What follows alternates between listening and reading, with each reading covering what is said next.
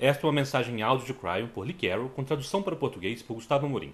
O título dessa mensagem é Predições. Ela foi dada em Nanaimo, no Canadá, em 16 de junho de 2018. Esta e outras mensagens de Cryon você encontra no site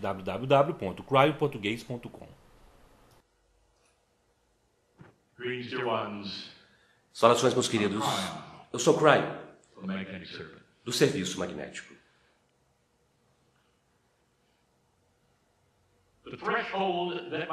O limiar que meu parceiro acabou de passar é um que vocês sentem. É a mesma voz. Mas a energia, para aqueles que podem senti-la, é vastamente diferente.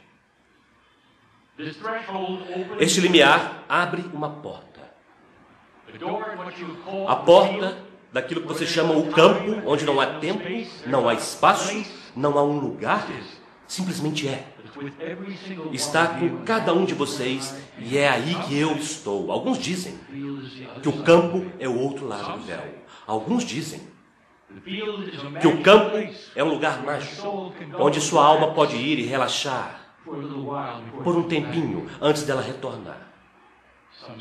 Alguns dizem que é Deus. Mas todas essas descrições estão corretas. Porque nesta jornada do herói que meu parceiro descreveu, cada um de vocês tem aquele lugar.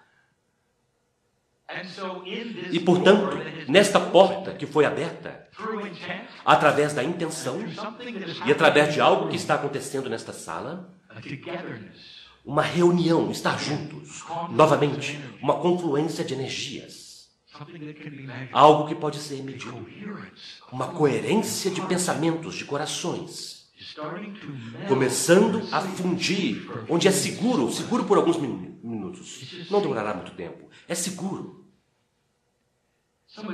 Alguns de vocês foram constru- construir uma caixa ao redor das suas crenças que diz: traga o cientista, vamos logo com isso.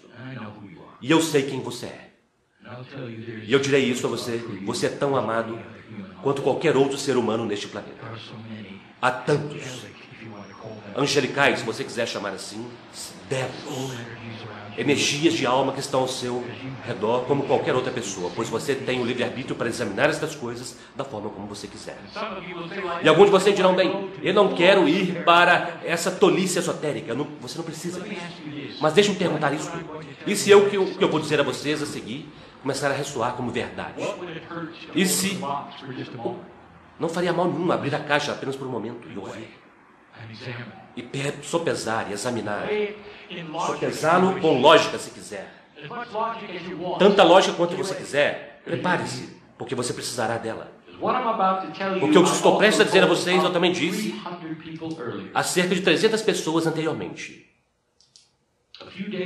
A Alguns dias atrás, houve um aperto de mãos. E aquele aperto de mãos foi com o presidente dos Estados Unidos e o líder da Coreia do Norte. E esse aperto de mão foi algo que estava muito longe de ser esperado alguns meses atrás. Na verdade, está além de todas as probabilidades, todas as probabilidades, de que isto poderia acontecer.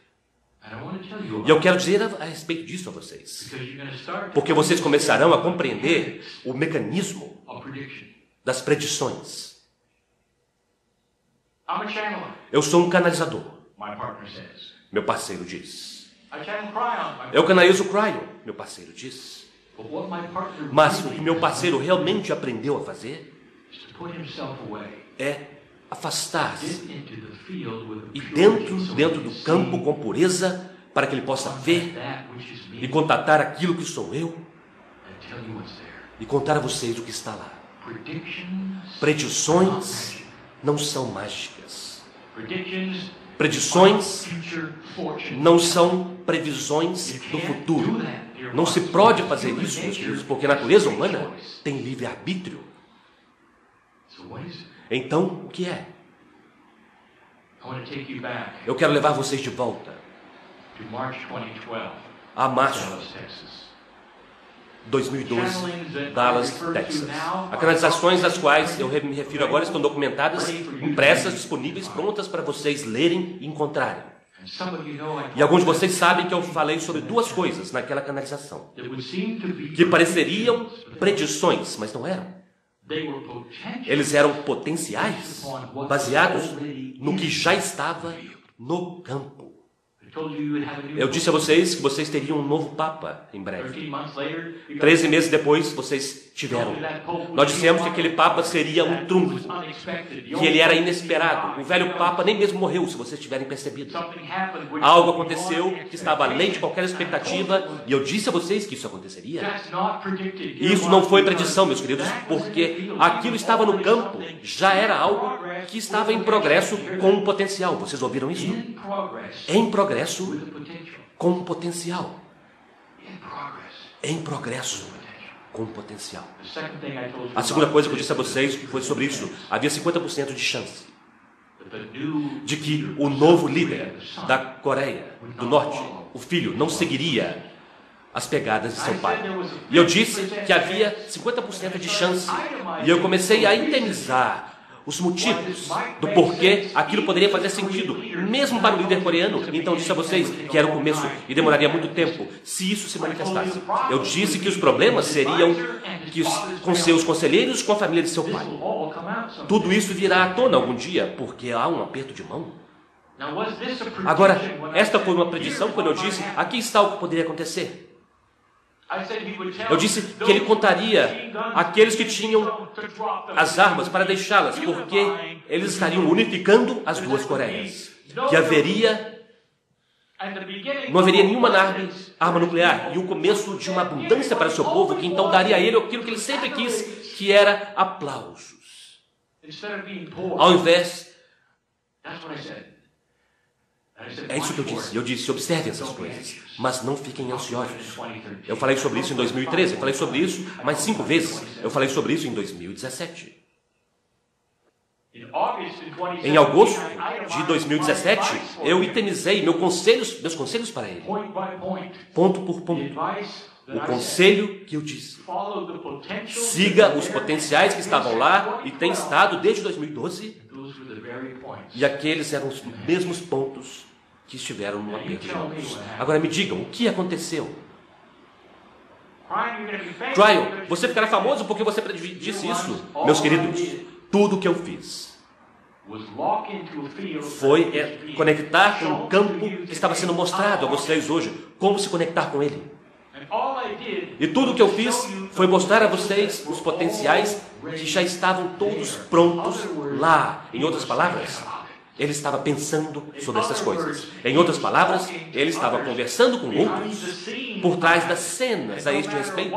E não importa o que seus conselheiros disseram a eles, até o limite de enviar os mísseis, ele sempre estava pensando que poderia haver uma outra forma. Isto tem estado em progresso desde a morte do pai dele. E portanto, isso estava no campo. Não era uma coisa certa, meus queridos.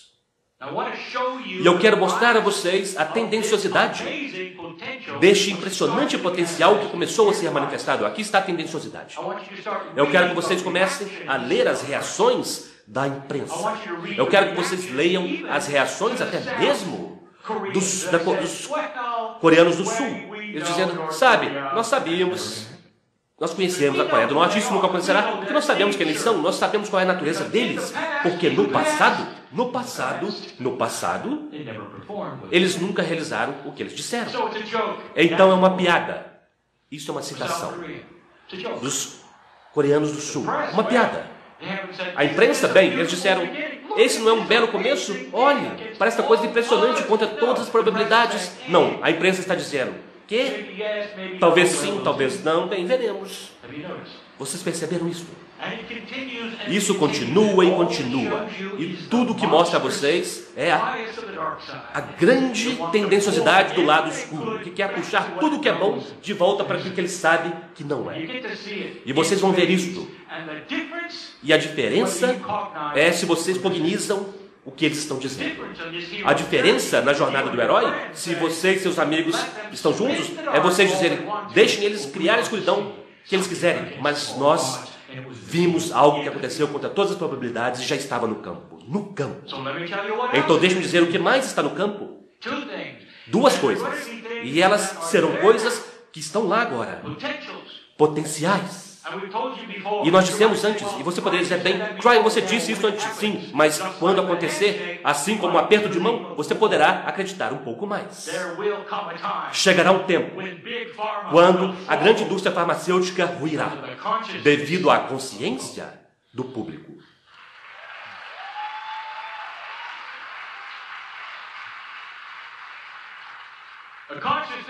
Uma consciência começa a ter respeito uns pelos outros, de forma que o abuso das mulheres não será mais tolerado, e as coisas que sairão da, da escuridão e bispos e cardeais se retirarão, e todas as coisas que foram trazidas hoje, que eu dei ao meu parceiro para trazer, tudo isso, por que não? Uma consciência que não permitirá qualquer empresa manter um ser humano doente ou mesmo morrer por conta de dinheiro.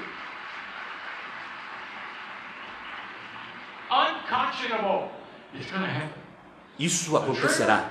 O gatilho está vindo. E vocês verão quando isso acontecer, uma indústria tendo problemas. Não toda indústria farmacêutica é desta forma, meus queridos. Compreendam isto. Mas aqueles que são, cairão. Eu quero que vocês observem o Irã. Não é como o isolamento da Coreia do Norte. Ele está conectado a um grande sistema de crenças. Está conectado a uma grande pessoa com um sistema de crença. Está ligado ao grande problema do Oriente Médio. E isto mudará. Observem isso, está no campo. Está sendo discutido. Deixe-me finalizar com isto. A mesma coisa que eu darei a vocês, que eu dei àqueles poucos em seu caminho para um belo jardim, alguns dias atrás. Há coisas em seu campo para você que salvarão sua vida. A menos que você olhe para trás e diga, impossível. A menos que você olhe para eles e diga, diga bem, para outros, mas não é para mim. A menos que você olhe para eles e diga, ah, isso nunca aconteceu antes, por que deveria acontecer agora? E isto reflete o ensinamento do dia. Não deixe o passado predizer o seu futuro. O que está no campo para você? O que é que você pode ver, in. imaginar? E se você ouviu isso já? Você já ouviu isso de outros cientistas, não um canalizador? Que a visualização da sua saúde entra dentro e é visto por sua própria estrutura celular. O campo está lá para empurrar isso adiante. Você acredita em homeopatia? Você vê como ela funciona. Vocês têm uma tintura que é pequena demais para ser reconhecida por qualquer parte do corpo, entrando como um sinal para o corpo, corrigir algo ele mesmo. O corpo vê o sinal e se corrige. E a homeopatia não é algo que é o que eu diria desconhecido no planeta. Está em toda parte. Então, por que não uma homeopatia da consciência? Qual é a diferença entre colocar uma tintura como um sinal para a cura e extensão de vida ou uma consciência que faz o mesmo? Está lá, já foi provado. Isso está mudando o mecanismo um pouco. Com a nova energia sobre a qual eu falei a vocês que está aqui. E a quantidade de amor que aponta e direciona-se a vocês, que é muito maior do que jamais antes, devido ao que vocês estão fazendo, velhas almas, você e seu grupo, em sua jornada, velhas almas, e isto pode ser feito para vocês. Por que você veio até aqui? Talvez haja questões, eu sei quem está aqui, nas quais você tem trabalhado por muito tempo. Você sabia que no campo, para você, essas coisas já estão corrigidas? Você sabia que algumas das situações nas quais você está, que parecem impossíveis, aquele, ah, este sou eu, o que eu farei, pode ser corrigido. É elegante se você esperar, se você esperá-la, se você ver, se você reivindicar, se você cognizá-la. É você, está lá, tem o seu nome nela. Mas nada acontecerá, a menos que você eleve-se acima do burburinho de uma velha consciência que diz que você não pode fazer estas coisas. Sim, você pode. E com este grupo em particular de velhas almas, meus queridos, eu digo a vocês: vocês estão aqui por um motivo, vocês estão aqui para ouvir a ciência da consciência. every Cada coisa e cada gráfico, em cada palavra que vocês ouvirão, apoia tudo o que eu acabei de dizer a vocês. Porque não é apenas espiritual. É algo que vocês estão fazendo com a sua consciência conforme vocês tocam o campo, conforme vocês vão para lugares onde não estiveram antes. Goste você de canalizações ou não. Isto funciona. E então nós dizemos para esta, este final de semana, até que você ouça de mim amanhã à noite, que a ciência comece.